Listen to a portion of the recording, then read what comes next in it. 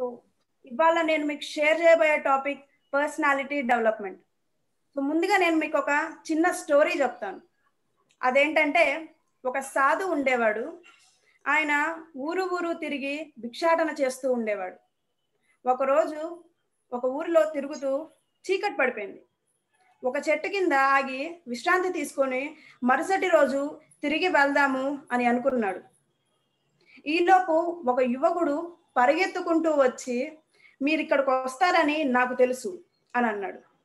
అప్పుడు ఆ సాధువు ఆశ్చర్యపోయి నేను ఇక్కడికి వస్తానని నాకే తెలియదు నీకెలా తెలిసింది అని అడిగాడు. ఆ యువకుడు నిన్న రాత్రి శివుడు నా కలలోకి వచ్చి మీ దగ్గర మీరు ఇక్కడ ఈ చెట్టు కిందకి ఈ రోజు ఈ టైంకి వస్తారు అని నాకు చెప్పారు. అందుకనే నేను మీ దగ్గరకు వచ్చాను. ఇంకొకటి కూడా చెప్పారు. అదేంటంటే మీ దగ్గర అత్యంత విలువైనది ఒకటి ఉందంట అది నన్ను తీసుకోమని ఆయన నాకు చెప్పారు అని చెప్పాడు యువకుడు. సాధువు నేను ఒక సన్యాసిని ఒక బిచ్చగాన్ని. నా దగ్గర విలువైనది ఏముంటుంది అని అన్నాడు. శివుడు నాకు చెప్పాడు అంటే మీ దగ్గర ఏదో ఒక విలువైనది ఉండే ఉంటుంది. మీరు నాకు దాన్ని ఇవ్వాల్సిందే అని ఆయన దగ్గర బ్యాగ్ ఉంటుంది కదా సో దాన్ని లాక్కొని మొత్తం వెతికాడు. చివరికి ఆ బ్యాగ్లో నుంచి ఒక పెద్ద డైమండ్ని బయటికి తీశారు. ఆ సాధువు ఆశ్చర్యపోయాడు. నాకు ఈ డైమండ్ ఈ బ్యాగ్లోకి ఎలా వచ్చిందో తెలియదు నాయన అన్నాడు. కొంచెం సేపు ఆ సాధువు ఆలోచించి సరే శివుడు నీకు చెప్పాడు కదా నీ కళ్ళలోకి వచ్చి నువ్వు ఆ డైమండ్ తీసుకో నాకు అవసరం లేదు అని చెప్పి అబ్బాయిని పంపించేశాడు. ఆ అబ్బాయి ఆనందంగా గెను గెంతుకుంటూ ఆ డైమండ్ని తీసుకొని వెళ్ళిపోయాడు. సో ఆ రోజు రాత్రి సాధువు అక్కడే రెస్ట్ తీసుకొని మరుసటి రోజు తిరిగి బయలుదేరుతూ ఉన్నాడు. ఆ యువకుడు మళ్ళీ పరిగెత్తుకుంటూ వచ్చి స్వామి ఆగండి అని అన్నాడు. మళ్ళీ ఏమైంది నాయన అని ఆ సాధువు అన్నాడు. సో ఇది ఈ డైమండ్ నాకొద్దు. దీనికంటే అత్యంత విలువైనది మీ దగ్గర ఉంది. నా దగ్గర దీనికి మించి ఇంకేమీ లేదు నాయన. కావాలంటే సంచిలో చూసుకొని ఆ సంచిని ఇచ్చాడు. ఆ యువకుడు ఏమన్నాడంటే ఈ డైమండ్ని నాకిచ్చే మనస్తత్వం ఉంది. ఈ డైమండ్ని నాకిచ్చే ఆ వ్యక్తిత్వం ఉంది. ఆ వ్యక్తిత్వం మీకు ఎలా వచ్చింది? దాన్ని నాకు ప్రసాదించండి అని చెప్పాడు. మనం బ్రతికి ఉన్నప్పుడు బ్రతికి లేనప్పుడు కూడా మనతో ప్రయాణించేది ఈ యొక్క వ్యక్తిత్వం మాత్రమే. మన చదువు కాదు మన సంపాదన కాదు. కేవలం ఈ వ్యక్తిత్వం మాత్రమే మనతో ఎప్పుడు ప్రయాణిస్తూనే ఉంటుంది. మనం చనిపోయిన తర్వాత కూడా మన వ్యక్తిత్వం గురించి అందరూ చెప్పుకుంటారు. సో ఇది ఒక స్టోరీ. సో పర్సనాలిటీ అంటే ఏంటి? సో మీరు ఏమనుకుంటున్నారు పర్సనాలిటీ అంటే? ఒకసారి ఎవరైనా టైప్ చేయండి. అసలు పర్సనాలిటీ అంటే ఏంటి? ఎవరైనా సరే. పర్సనాలిటీ అంటే ఒక వ్యక్తిని చూసి మనం అతని పర్సనాలిటీ బాగుంది అన్నప్పుడు అతని ఫిజికల్ లుక్స్ కాదు అతని కలర్ కాదు. పర్సనాలిటీ అంటే అతనిలో ఉండే హ్యాబిట్స్ తన బిహేవియర్ తన యాటిట్యూడ్ తన థింకింగ్ వే అది పర్సనాలిటీ అంటే. So it's a true nature of yourself ఎవరూ లేనప్పుడు ఇంట్లో మీరు ఒక్కళ్ళే ఉన్నప్పుడు మీరు ఎలా బిహేవ్ చేస్తారు? ఎలా ఉంటారు? సో అది మీ అసలైన వ్యక్తిత్వం. మనం ఎప్పుడు కూడా పాజిటివ్గా ఉండాలి. పాజిటివ్గా ఆలోచించాలి కూడా. సో మనం బజార్కి వెళ్తూ ఉంటాము. అక్కడ కూరగాయలు కొనడానికి వెళ్ళాం. సో ఎలాంటి కూరగాయలు సెలెక్ట్ చేసుకుంటారండి? ఏవైతే మంచిగా ఉన్నాయో వాటినే సెలెక్ట్ చేసుకుంటాం కదా? సో అలాగే మనము మంచిగా ఉంటే పాజిటివ్గా ఉంటే సొసైటీ కూడా మనకి ఎక్కువ రెస్పెక్ట్ ఇస్తుంది. సో మనం ఎప్పుడు పాజిటివ్గా ఉండాలి. మనం పుట్టినప్పుడు మనకి శరీరం మాత్రమే ఉంటుంది. మనకి ఎటువంటి వ్యక్తిత్వము కూడా ఉండదు. సో ఈ వ్యక్తిత్వాన్ని మనం డెవలప్ చేసుకుంటూ ఉండాలి. సో ఎప్పుడు పాజిటివ్ ఆలోచిస్తూ ఉండాలి. సో మరి ఈ ఇలా మంచిగా ఉండాలి అంటే మనలో ఎటువంటి లక్షణాలు ఉండాలి అంటే మనం తలచిన పనిని తక్షణమే చేయాలి. ఏదైనా పని మనం చేయాలి అనుకుంటే దాన్ని అప్పటికప్పుడే స్టార్ట్ చేయాలి. మనం అనుకునేది మనస్ఫూర్తిగా అనుకోవాలి. సో మనం అనుకున్నది మనకు ఉపయోగపడే పని సొసైటీకి ఉపయోగపడే పనిని. కనుక దానిని మీరు తలచిన వెంటనే చేసేయాలి. ఒకవేళ మీరు పోస్ట్ పోన్ గనక చేసినట్లయితే ఆ పని మీద మీకు ఇంట్రెస్ట్ లేనట్టే. మీ మీద మీకు నమ్మకం లేనట్లే. మీలో ఉన్న శక్తిని మీరు శంకిస్తున్నట్లే. సో మనకి మనమే ముఖ్యం. ముందు మన గురించి పట్టించుకోవాలి. మనం ఎప్పుడూ కూడా మన సంతోషాలన్నిటినీ పక్కన పెట్టి ఎదుటి వ్యక్తి సంతోషంగా ఉండాలని వాళ్ళకి ఇష్టమైనవి చేస్తూ ఉంటాం. సో ఆ క్రమంలో మనం మనకి తెలియకుండానే ప్రాబ్లమ్స్లో చిక్కుకుంటూ ఉంటాం. అండ్ మనకి స్ట్రెస్ కూడా ఎక్కువ అవుతూ ఉంటుంది. మన డ్రీమ్స్ అనేవి అలాగే ఉండిపోతాయి. సో మనం ఎప్పుడూ కూడా మనం ముందు మన గురించి ఆలోచించి తర్వాత పక్కన వాళ్ళ గురించి ఆలోచించాలి. మిమ్మల్ని మీరు గౌరవించుకోవాలి. మనం మనల్ని ప్రేమించుకుంటేనే కదా ఎదుటి వ్యక్తి మనల్ని ప్రేమించగలరు. సో ముందు మనం మనల్ని తక్కువ చేసుకోకుండా మనం పాజిటివ్గా ఉండాలి. ఎప్పుడు కూడా ప్రతి సిచ్యువేషన్లో పాజిటివ్గా డీల్ చేయాలి. అసలు మనకి మన మీద డౌట్ ఎప్పుడు వస్తుంది అంటే ఈ సొసైటీ విధించే నియమాల వల్ల ఈ సొసైటీ విధించే అంశాల వల్ల మనకి మన మీద డౌట్ వస్తుంది. అసలు నేను ఈ పని చేయగలనా? సో ఇలా కాకుండా మనం మనల్ని తక్కువ చేసుకోకుండా ఎప్పుడు పాజిటివ్గా ఆలోచించి మనల్ని గౌరవించుకుంటూ ఉండాలి. తిరస్కరిస్తారన్న భయమే మనల్ని తిరస్కరించేలా చేస్తుంది. సపోజ్ మనం ఇంటర్వ్యూకి వెళ్ళామండి. సో అక్కడ మనకి కొంచెం భయం ఉంటుంది. అసలు ఈ ఇంటర్వ్యూ నేను బాగా చేస్తానా లేదా? నాకు ఉద్యోగం వస్తుందా లేదా అని. సో అలా భయపడుతూ భయపడుతూ మనం చెప్పాలనుకున్న ఆన్సర్స్ కూడా సరిగా చెప్పలేము. సో ఆ భయపడుతూనే మనం తిరస్కరింపబడతాం. సో అలా కాకుండా మనం ఆ భయాన్ని ఎదుర్కోవాలి. The best way to overcome your fear is to face it మనం దాన్ని ఫేస్ చేయాలి. సో మనం మన భయాన్ని మన పవర్గా కన్వర్ట్ చేసుకోవాలి. మిమ్మల్ని నియంత్రించడానికి వాళ్ళని అనుమతించవద్దు. మన లైఫ్లో ఎప్పుడూ కూడా మనమే హీరోగా ఉండాలి. మన లైఫ్లో ఎప్పుడు మనమే కంట్రోల్ చేయాలి. ఒకళ్ళ మీద మనం ఎప్పుడు డిపెండ్ అవ్వకూడదు. చిన్న చిన్న పనులకి మనం ఏదన్నా డౌట్ వచ్చిందనుకోండి మనమే దాన్ని సాల్వ్ చేసుకోవాలి. వాళ్ళకి ఎక్కువ ఛాన్స్ ఇవ్వకూడదు మన లైఫ్లో అన్ని కంట్రోల్ చేయడానికి. సరైన లక్ష్యమే ఉన్నత జీవితాన్ని ఇస్తుంది. మనలో ఉండే బలాలను బలహీనతలను మన యొక్క రిలేషన్స్ ఎదుటి వాళ్ళతో ఎలా ఉండాలి ఎలా ఉన్నాయి అని తెలుసుకోవాలి అంటే మనకి ఒక లక్ష్యం ఉండాలి. ఒక లక్ష్యాన్ని ఏర్పరచుకొని మనం కమిట్మెంట్తో ఆ పనిని చేయాలి. ఒకవేళ లక్ష్యం కనుక లేనట్లయితే మన జీవితంలో సంతోషం అనేదే ఉండదు. లక్ష్యం లేకపోతే మన జీవితానికి అర్థమే ఉండదు. సో ఎప్పుడు కూడా ముందు మనం లక్ష్యాన్ని ఏర్పరచుకోవాలి. అప్పుడే దానిని మనం సక్సెస్ అయ్యి ఆ విషయంలో మనం ఒక ఉన్నత స్థాయికి వెళ్తాం మనం. ఓటమిని ఎప్పుడు అంగీకరించవద్దు. మనము ఓడిపోయాము అని ఆలోచించి అది ఒక మన ఆలోచన మాత్రమే. అది అది మన మానసిక స్థితి మాత్రమే. మనము మనం జీవితంలో తెలియన తెలియకుండానే మనం ఒక్కొక్కసారి ఓటమి పాలవుతూ ఉంటాం. ఎంతో గొప్పగా చేస్తాము కానీ మనం ఓటమి పాలవుతూనే ఉంటాం. సో ఓడిపోయామని చెప్పేసి మనం అక్కడితో ఆగిపోతామా? సో థామస్ ఆల్ఫా ఎడిసన్ గారు ఆయన తొంభై తొమ్మిది సార్లు తొమ్మిది వందల తొంభై తొమ్మిది సార్లు కూడా ఆయన ప్రయత్నించి ఓడిపోయారు. వెయ్యోసారి ఆయన అప్పుడు బల్బుని కనిపెట్టగలిగారు. ఆయన మొదటిసారే ఓటమి పాలయ్యి నేను ఓడిపోయాను ఇంతటితో ఆపేయాలి అనుకుంటే ఆయన గురించి మనం ఈరోజు చెప్పుకునే వాళ్ళమా?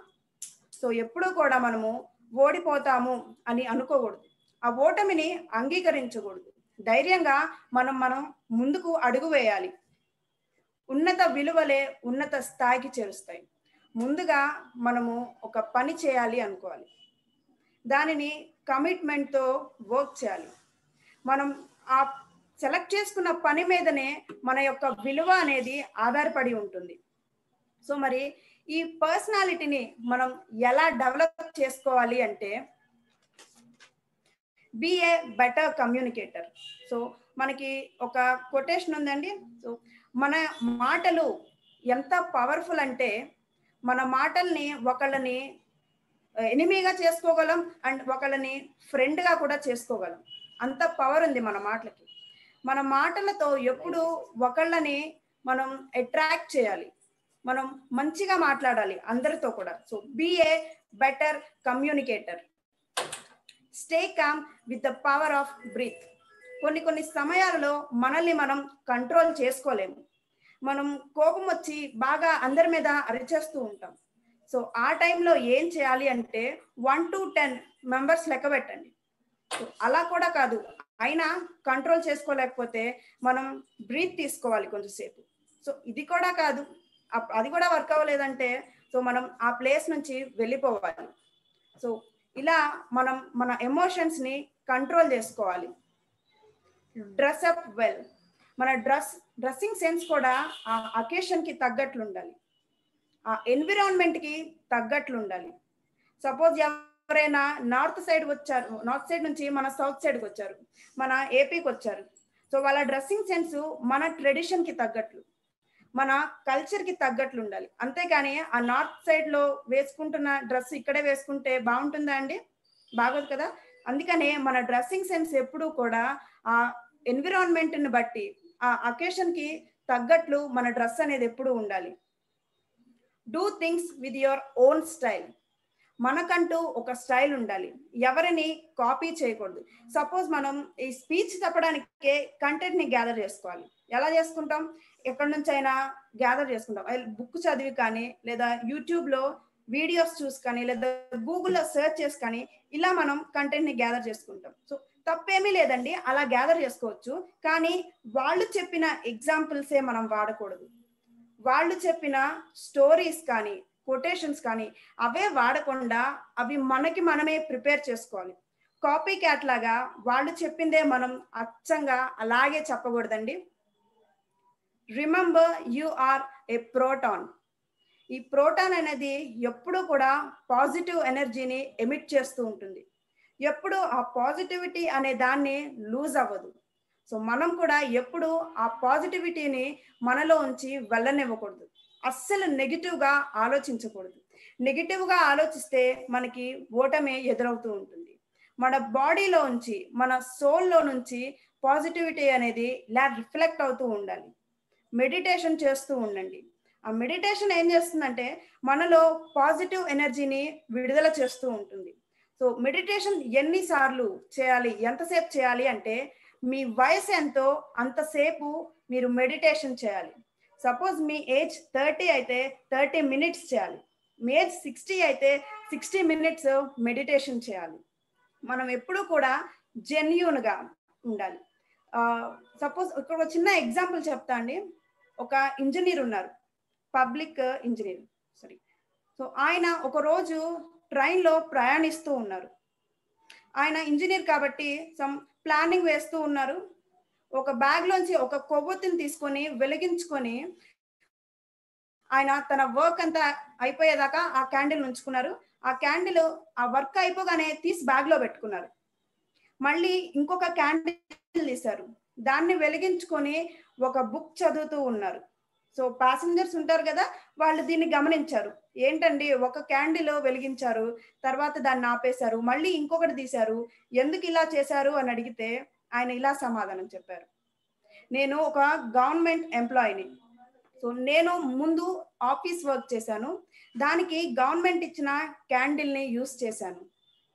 తర్వాత నేను చదువుకున్నాను. నా కోసం నేను చదువుకున్నాను. సో నేను కొనుక్కున్న క్యాండిల్ని వాడాను. సో ఎంతటి గొప్ప వ్యక్తిత్వం అండి అయింది. సో మనము నిజాయితీగా ఉండాలి ఎప్పుడూ కూడా. అందరూ ఉన్నప్పుడే మనం నిజాయితీగా ఉండడం కాదు. ఎవరు లేనప్పుడు కూడా మనం నిజాయితీగానే ఉండాలి. గివ్ స్పేస్ టు ఇంపర్ఫెక్షన్ మనం కొన్ని కొన్ని పనులు చేస్తున్నప్పుడు పొరపాట్లు జరుగుతూనే ఉంటాయి. వాటిని మనం యాక్సెప్ట్ చేయాలి. ఒక్కసారికే మనకు సక్సెస్ వచ్చేది కదా. చిన్నగా వస్తూ ఉంటుంది. మనం ఆ ఓటమి నుంచి ఏదో ఒకటి నేర్చుకోవాలి. ఆ తప్పుని మనం రెండోసారి రిపీట్ చేయకుండా ఉండాలి. ఒకవేళ గెలిస్తే సంతోషం వస్తుంది లేకపోతే ఎక్స్పీరియన్స్ వస్తుంది. సో అంతేగాని ఏదో పొరపాటు జరిగిపోయింది నాకేమి రాదు నాకు స్కిల్స్ లేవు కమ్యూనికేషన్ స్కిల్స్ లేవు. సో అలా అనుకోకూడదండి మనం ఎప్పుడు. Leave your ego behind suppose మనకి మన ఇంట్లో వాళ్ళతో కానీ ఆఫీస్ వాళ్ళతో కానీ చిన్న క్లాష్ వచ్చింది. సో మనం ఏమనుకుంటాం? వాళ్ళే స్టార్ట్ చేశారు గొడవ. సో నేనెందుకు వెళ్ళి సారీ చెప్పాలి? వాళ్ళే వచ్చి చెప్తారులే. అలా ఆలోచిస్తాం. సో అలా ఆలోచించకుండా మన ఈగోని పక్కన పెట్టేసి మనమే వెళ్ళి వాళ్ళతో మాట్లాడాలి. మనం మంచిగా ఉంటే అందరూ కూడా మనల్ని ఇష్టపడతారు. సో మన ఎగోని మన లైఫ్లో నుంచి బ్యాన్ చేసేసేయాలి. Help others. మనం అందరికీ హెల్ప్ చేస్తూ ఉండాలి. మన దగ్గర ఉన్న నాలెడ్జ్ని మనం షేర్ చేస్తూ ఉండాలి. మన నాలెడ్జ్ని షేర్ చేయడం వలన మనకి ఇంకా నాలెడ్జ్ ఇంప్రూవ్ అవుతుంది. మనం ఏమీ పోగొట్టుకోమండి నాలెడ్జ్ షేర్ చేయడం ద్వారా. మనం నాలెడ్జ్ షేర్ చేయాలి అందరికీ. Don't think of harming others ఎదుటి వ్యక్తికి హామ్ చేయాలని అస్సలు అనుకోకూడదు మనం హెల్ప్ చేయకపోయినా పర్లేదు కానీ వాళ్ళకి ఎటువంటి ప్రమాదము తలపెట్టనివ్వకూడదు. సో మీటింగ్ న్యూ పీపుల్ కొత్త వాళ్ళని కలుస్తూ ఉండాలి. వాళ్ళని కలవడం ద్వారా అసలు జనాలు ఎలా ఉంటారు? వాళ్ళ యొక్క మనస్తత్వం ఎలా ఉంటుంది? వాళ్ళ స్వభావాలు ఎలా ఉంటాయి? అండ్ వాళ్ళని కలవడం వలన మనకి వాళ్ళ కల్చర్ ఎలా ఉంది? వాళ్ళ ట్రెడిషన్స్ ఎలా ఉన్నాయి? కొత్త ప్లేసెస్ ఏంటి? సో ఇవన్నీ కూడా మనకి ఐడియా వచ్చేస్తాయి. అందుకనే మనం కొత్త ప్లేసెస్ని కొత్త పీపుల్ని మీట్ అవుతూ ఉండాలి. సో ఇలా పర్సనాలిటీని డెవలప్ చేసుకోవడం ద్వారా మనం పాజిటివ్గా ఉంటాం. ఎప్పుడు స్ట్రెస్ అండ్ డిస్గస్టింగ్ అనేవి మన లైఫ్లో కూడా దరి చేరవు. ఇలా పర్సనాలిటీని మనం మంచిగా డెవలప్ చేసుకోవడం వలన మనకి చాలా బెనిఫిట్స్ ఉంటాయి. అందరితో రిలేషన్ మంచిగా ఉంటుంది. అండ్ పంచువాలిటీ టైం మేనేజ్మెంట్ ఇలాంటివి ఎన్నో మన జీవితంలో వస్తాయి. సో ఈ యొక్క పర్సనాలిటీని మనం ఎప్పుడు కూడా పాజిటివ్గా ఉంచుకోవాలి. ఈ పర్సనాలిటీ మంచిగా మనలో ఉంటే మనం ఎప్పుడు కూడా యునిక్గా ఉంటాం. నలుగురిలో ఉన్నా కూడా యునిక్ పర్సనాలిటీగా ఉంటాం మనం. రికగ్నైజేషన్ కూడా బాగా వస్తుంది మనకి. వివేకానంద గారు ఏం చెప్పారు అంటే మనం ఒక గొప్ప స్థాయిలో ఉండాలి అంటే మనము మందలో ఒకటిగా ఉండకూడదు. వందలో ఒకటిగా ఉండాలి. స్టోరీ చెప్తారండి నలభై ఆరు మంది జైలు శిక్షకి రెడీగా ఉన్నారు. వాళ్ళని ఉరి తీయడానికి రెడీగా ఉన్నారు కోర్టులో. వాదన జరుగుతూ ఉంది. సో ఒక లాయర్ ఆయన వాదిస్తూ ఉన్నారు. ఈ మధ్యలో ఒక క్లర్క్ వచ్చి ఆయనకి ఒక పేపర్ ఇచ్చారు. సో ఆ లాయర్ ఆ పేపర్లో అది చదివి అది పాకెట్లో పెట్టుకున్నారు. సో వాదన అయిపోయింది. లంచ్ బ్రేక్ ఇచ్చారు. ఆ లంచ్ బ్రేక్లో ఆ జడ్జ్ ఆ లాయర్ దగ్గరకు వచ్చి నీకు మధ్యలో ఏదో పేపర్ వచ్చింది కదా క్లర్క్ తీసుకొచ్చి ఇచ్చారు కదా సో ఆ పేపర్లో ఏముంది అని అడిగాడు. అప్పుడు ఆ లాయరు నా భార్య చనిపోయింది అని చెప్పారు. మరి నీ భార్య చనిపోతే నువ్వు ఇంకా ఇక్కడే ఎందుకున్నావు? నీకు నీ భార్య అంటే ప్రేమ లేదా? ఎందుకు వెళ్ళలేదు నువ్వు? అని అడిగాడు. అప్పుడు ఆ లాయరు నేను అక్కడికి వెళ్ళిన ఉపయోగం ఉంది నా భార్య చనిపోయింది.